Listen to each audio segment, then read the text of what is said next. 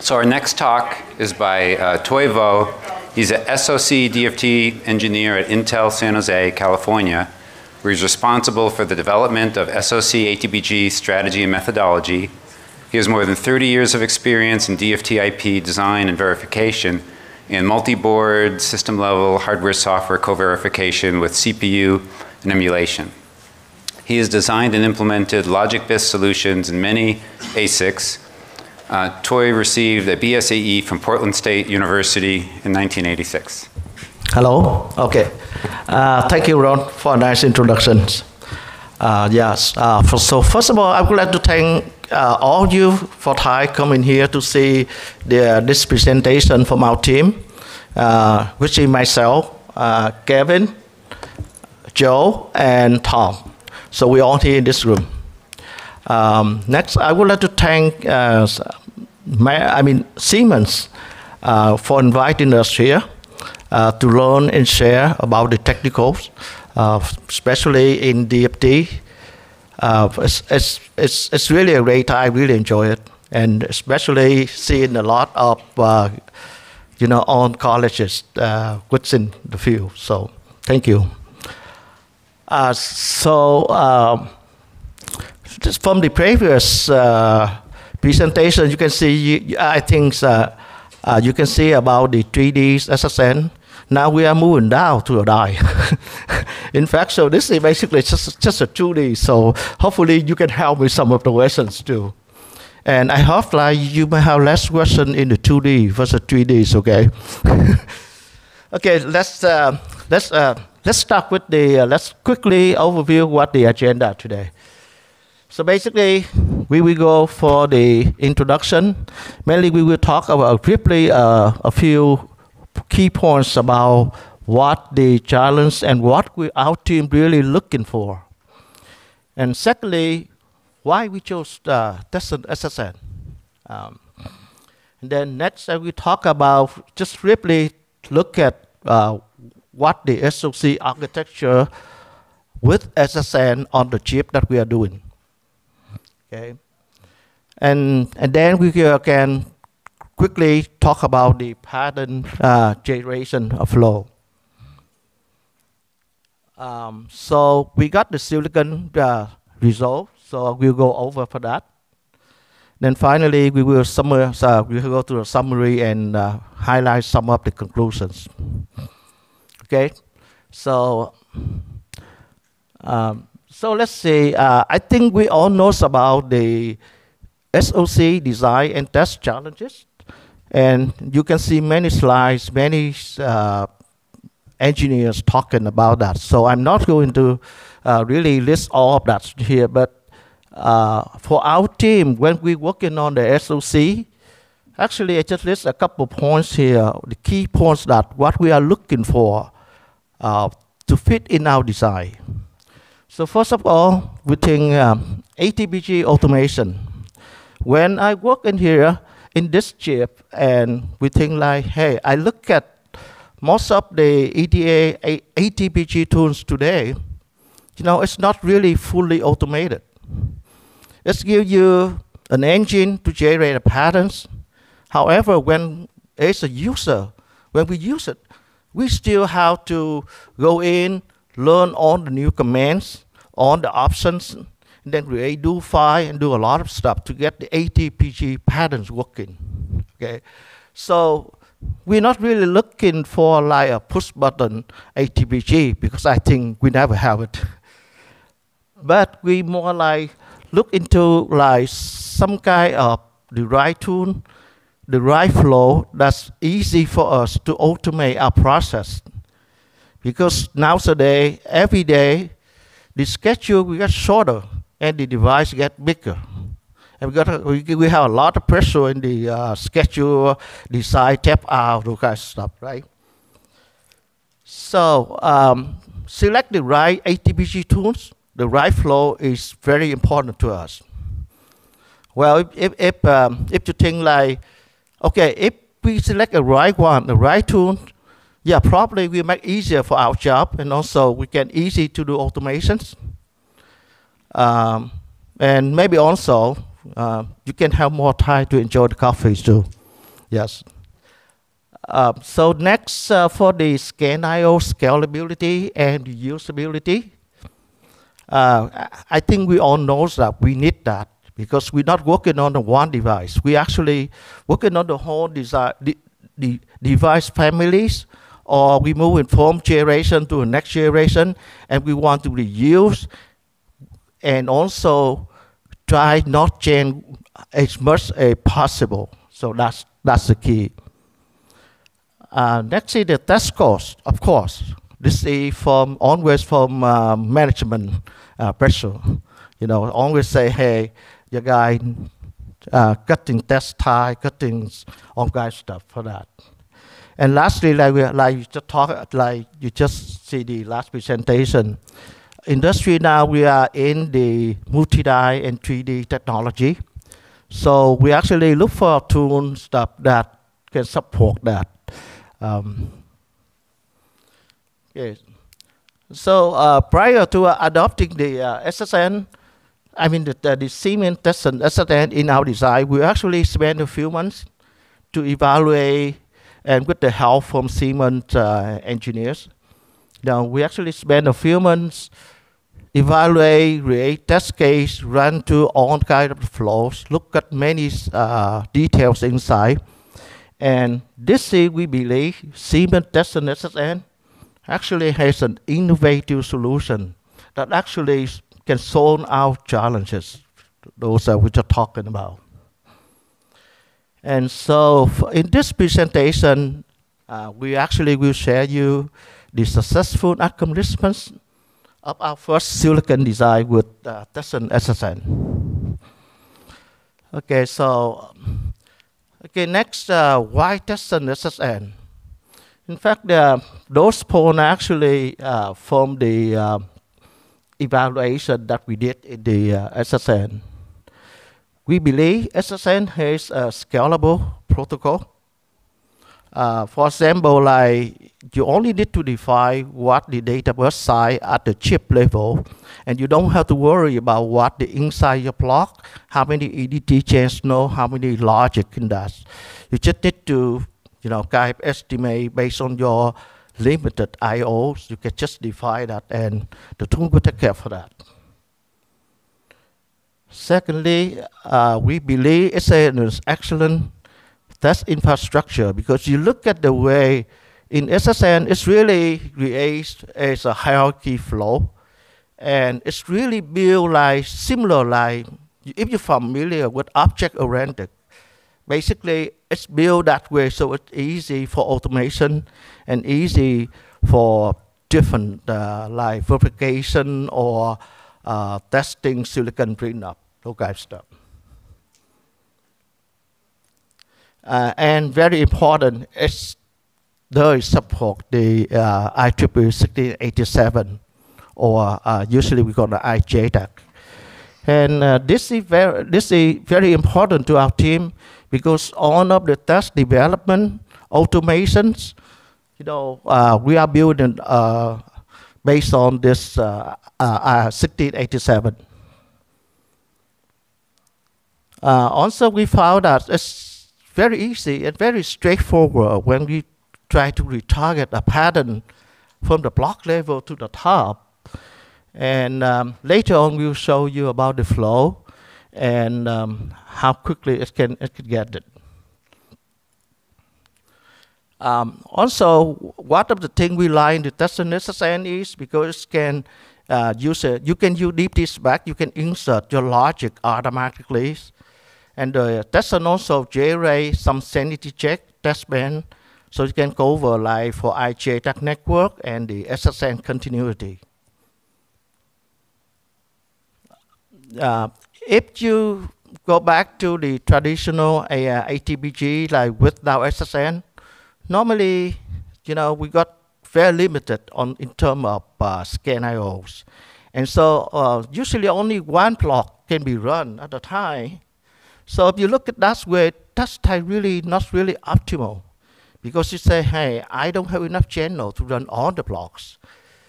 But with SSN, in fact, you look at, uh, it doesn't matter to the size of your SSN, even you have one clock signal, one data, you still can run multiple blocks in parallels. And that's really, really helpful later. Uh, you can see we have one slide to share about how much test time you, you may save uh, just using the SSN uh, uh, versus uh, traditional. Okay. Um, and lastly, like I just mentioned, we are looking for uh, the tool that uh, we make sure that SSN does support the multi-die and 3D technologies uh, moving forward. Okay, so, uh, so right, so let's take, quickly take a look uh, at the device top level that our team worked on. Uh, basically, this is just a simplified pictures that I tried to put it in. It's not really scale any uh, um, the real silicon. And uh, some of the block, if you see some of the block like playing doesn't have names, I mean basically uh, we want to keep the legacy testing for that. So in here you will see like we have uh, multiple blocks and with the letter M uh, stand for a module, basically a physical place around modules. Whatever the same name, just say M1 in here. It means the, we have the same module with multiple instantiations. And then uh, we have some vertical routing. We're going VR1 or, v, or SR1 for horizontal routing actually running uh, among the chips. Uh, there is um, some of the custom logic that uh, I, I labeled here say non-SSN. It means that due to some of the uh, schedule, some of the constraint, we want to keep it. We, we say we don't want to touch it for now since SSN is the first time we implemented this chip, right? And finally, you look at, at, the, um, at the bottom, the left, we actually have the block on the secure test manager basically it's mainly it's in interface with software and um, JTAG. Okay, um, let me see. So, so this is our work. And all of the M blocks in here means we are going to insert the SSN in that. So let me show you, uh, very quickly show you how we actually insert the logic in here. To simplify the picture, I didn't draw all of them. I think I run out of space here. so just draw like a few blocks and quickly show you. It's very, uh, uh, I mean, like object-oriented, uh, the way we, we build the, uh, the chip here. So you look for, for every block here, we insert the SSN, test logic into it. So, and each module just considered an object. So we do similar for all of the other blocks and similar for all every block in here. In fact, we actually uh, create a, a, a, Python script and we generate those logic and interface directly with Destin Assistant. So it's, it's, as you should see, the it built is very hierarchical and very, very convenient uh, for us to do the work. So um, some of the small rectangular block, let's say like TL, MAs, it means just simplify the picture, repertoire, make it just show like a small, similar test logic that we insert for on the block here. And uh, based on the layout, based on the chip, uh, we decide to put it actually two SSN bus running in parallel. One on the top and one on the bottom. And then on the left, uh, we have the uh, IJTAG interface with STM block. So we have only one single IJTAG network going in the chip, but two SSN bus running in parallel. Yes. Uh, because due to some of the routing, if you look at from the uh, bottom to top or top to bottom, if we have some of the, if we have only single SSN bus, it probably, uh, we have to take care of that. So we decided to break the bus into two and then put one top, one at the bottom, and we feel that this is a better architecture. In fact, we actually consult with Siemens before we actually add in two bus.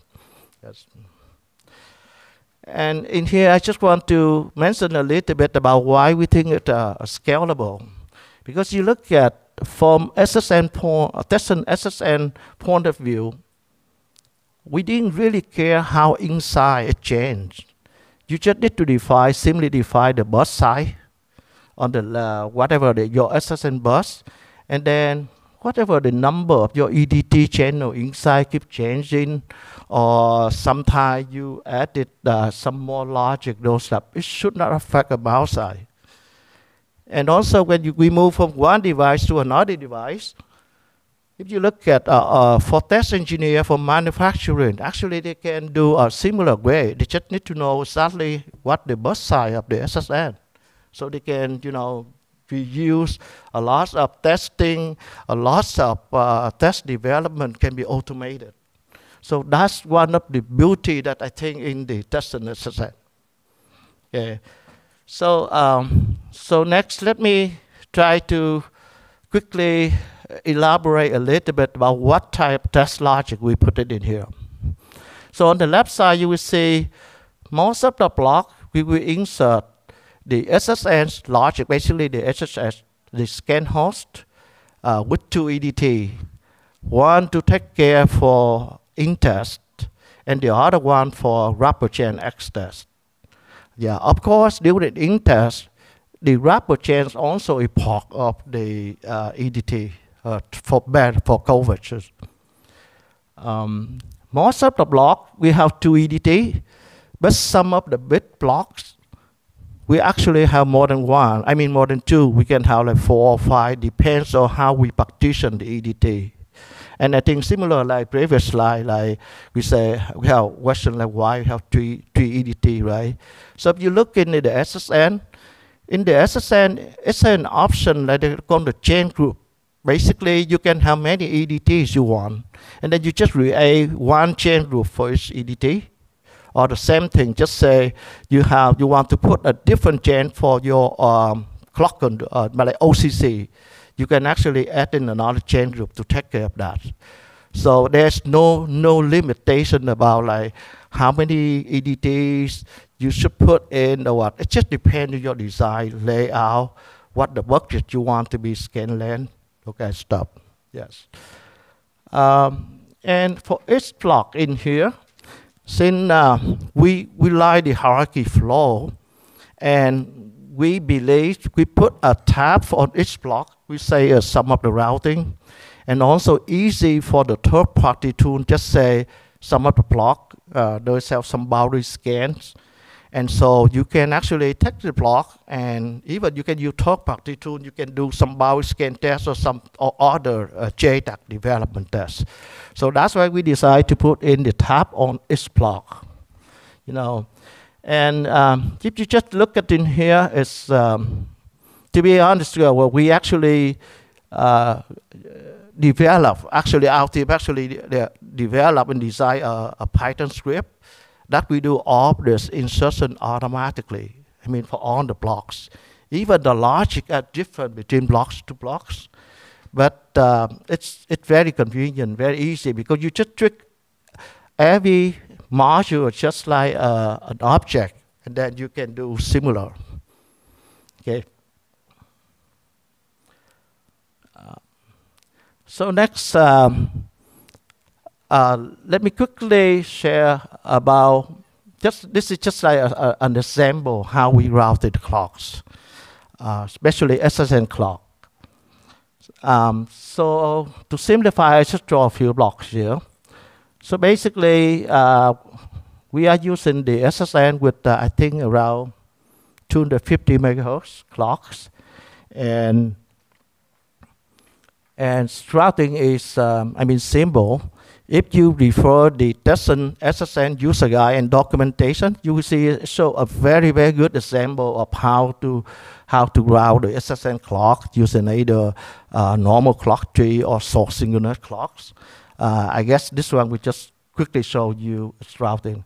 Of course, this is one way you can route or you can go like uh, M1 to M2, M3 and come back, you know. But I think the basic idea in here try to show is we need clearly we need two separate paths for the uh, the clocks, basically a forward and a return path. just like you, you, you go on the route with the blocks and then you need to route back. And of course, I didn't show in here, but you can put um, muxes between to loop back for fault isolation, or just say just like some shortcut. Sometimes you don't want to travel, and good for silicon diagnostic. So I I didn't draw in here, so just draw a, a symbol of routing. And of course, uh, that's understand those understand the pipeline.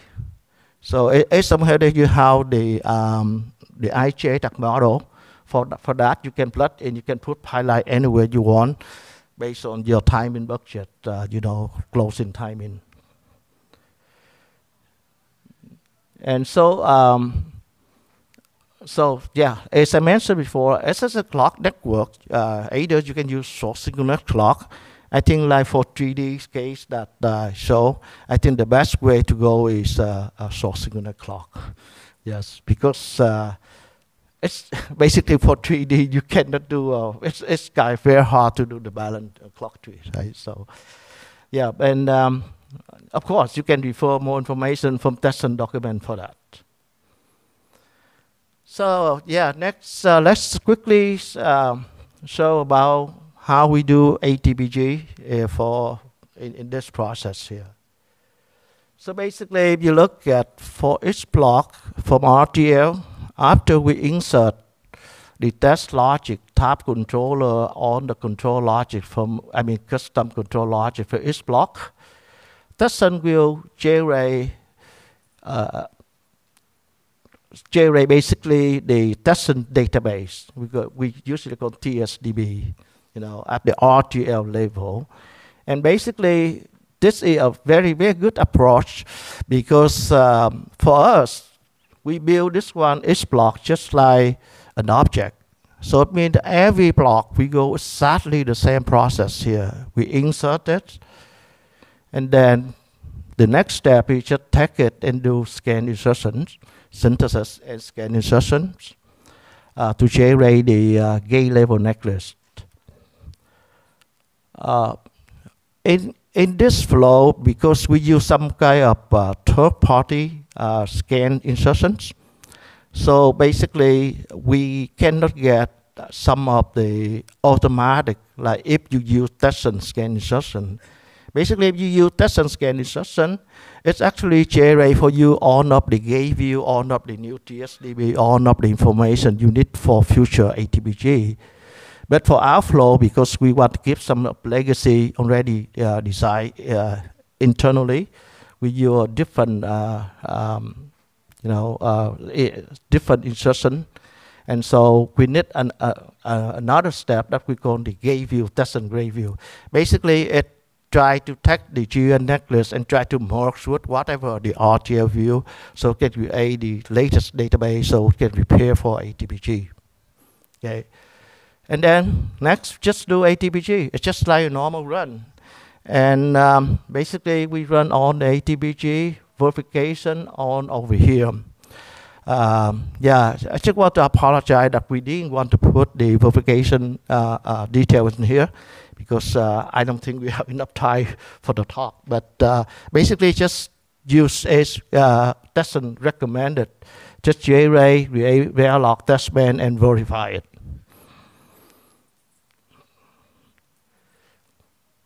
that's one of the nice things that I think uh, if you use Tessent and you, you, you, all know that we have the uh, the IJ gray box and the scan gray box could be created from Tessons.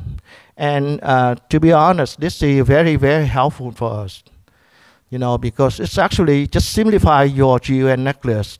And you could say you a lot of ATPG runtime, same as, you know, retargeting time or ATPG pattern generation. Okay, so so as I said, um, we do just like an object. So after so after you have all of the uh, blocks being run in ATPG, so it's just a matter like you just wrap all of the blocks and do a retargeting flow. And it's, it's, it's very, very simple to do it. Just like you just need to create one new file and do all of that. Yeah, of course, the good part is that is we can use the IJTAG gray box here, and it's really say uh, a lot of runtime for that. Yeah, of course, from that retargeting, you can generate tester, and then the same way you can it will generate the Verilog testbed, so you can verify it directly at the top. And also one of the beauty of this is um, you don't have to wait for all the blocks to be ready to do retargeting. Whatever the block is ready, you can retarget, and the rest you just use some IGA that box. So similar for the X test, you know, we do um, similar. The only, basically we do similar is just do block level ATPG. The good part is you use the, you just use the scan ray box. You don't have to use the full netlist. It takes forever and sometimes maybe impossible, depends on your, your chip size. So similar we run with J, JRay developed testbed and verified it. Okay. So, um, so here's our uh, first silicon test result um, for, from that design. So the first day we test, I mean the first tie test, we got on the SSN loopbacks and chain test passed. We have 12 our 14 modules in ATPG test are passing on the first run. Um, all of the full chip X tests are passed. And, and there's two modules that have uh, some problems because the way we do some of the block, we have a little bit custom. Basically, we, it relies on some firmware initialization stuff before we do a ATPG. So we figure out, oh, there's some issue with that. So uh, after we fix that, then it's, uh, it's, it's, passing. So for this design, we actually use uh, 250 megahertz for the uh, scan clock, I mean for the SSN clock versus the 100 megahertz in the chip. Now let's uh, quickly show you the test height saving here, how much we, we, we save with, with SSN and versus like without. Basically, let's say without SSN, very much like only one EDT block can be run at a time. So uh, we, we uh, so I actually create some test case actually run on the uh, certain block. Just, just for example, this block take about some milli, millisecond, I mean, yeah, millisecond to do it. Similarly, another small block run like this. And so you run like on this block, and this is your total time. However, with SSN, basically on the blocks you can run in parallel. And this is that's time you, you, you actually get that 41.8 millisecond versus 62. No. And similarly, we did another run, and similarly, we got uh, similar result basically that. So based on just a typical uh, two test case here, uh, I just quickly tell you it's around like 34%. That's the saving. It's just like between SSN versus traditional. Okay. So, um, in summary, uh, we we believe it's very easy transition when you move from traditional EDT, EDT channels uh, base into the SSN uh, package base. Yes. And SSN really scalable, reusable, and we can say it's an excellent uh, pattern retargeting. Also, just look at that test time optimization reduction versus traditional ATPG. And uh, also, we, based on the way we work, we believe it's actually improved the productivity and efficiency because it's really reduced a lot of engineering work in terms of uh, development uh, flow stuff. Okay, and uh, final, we believe SSN is absolutely an innovative solution, and it really works. So thank you.